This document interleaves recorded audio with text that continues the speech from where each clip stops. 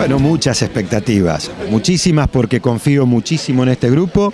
Eh, tengo la certeza que lo que este grupo se propone eh, lo va a lograr en muy poco tiempo. Y este grupo no se propone otra cosa más que trabajar por la gente y lograr las cosas que en esta visita que ya comenzamos a hacer hace un tiempo atrás y que todos los días estamos haciendo pueblo por pueblo, casa a casa, persona a persona, nos vamos llevando como inquietud y como necesidad que tiene eh, este departamento. ¿Está conforme con el apoyo político en, distintas, en las distintas localidades de nuestro departamento, ya que son localidades bien heterogéneas, ¿no?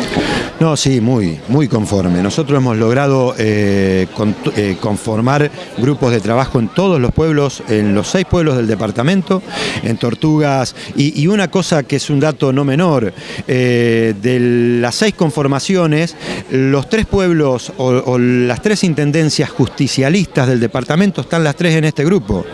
Vaya casualidad y pregúntense por qué, ¿no?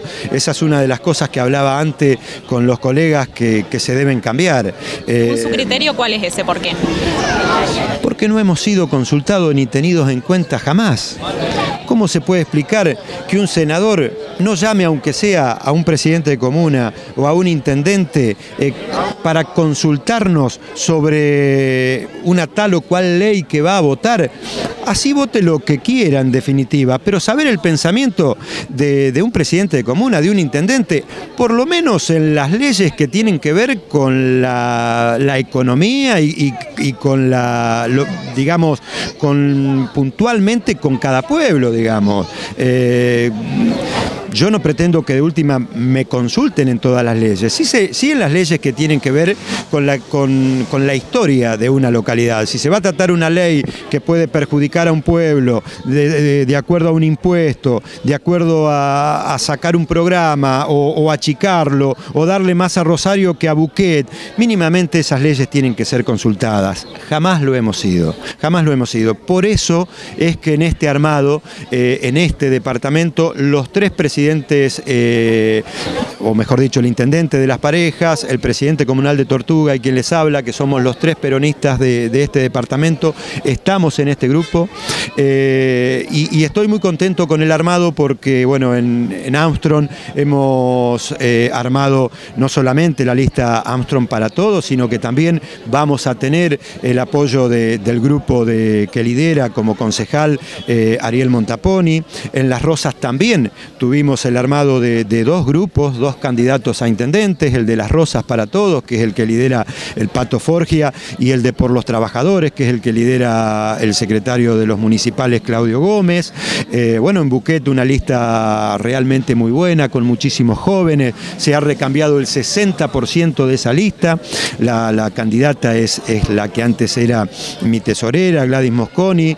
Eh, bueno, aquí en las parejas Horacio Companuzzi, que va a ser el candidato de Diego Mancilla, quien va a trabajar al lado nuestro, y en Montes de Oca, que si bien no hemos presentado lista a presidentes comunal, hemos armado un grupo de compañeros que trabajarán eh, y estarán dentro de este armado departamental. Cornelia, eh, en el departamento hay 11 precandidatos a senador. ¿Con qué posibilidades se ve? Ganador. Totalmente, y no lo duden, el 19 de abril ustedes verán de manera contundente ganar la interna. Quedarán en el camino los otros dos eh, candidatos a, senador por el justicialismo.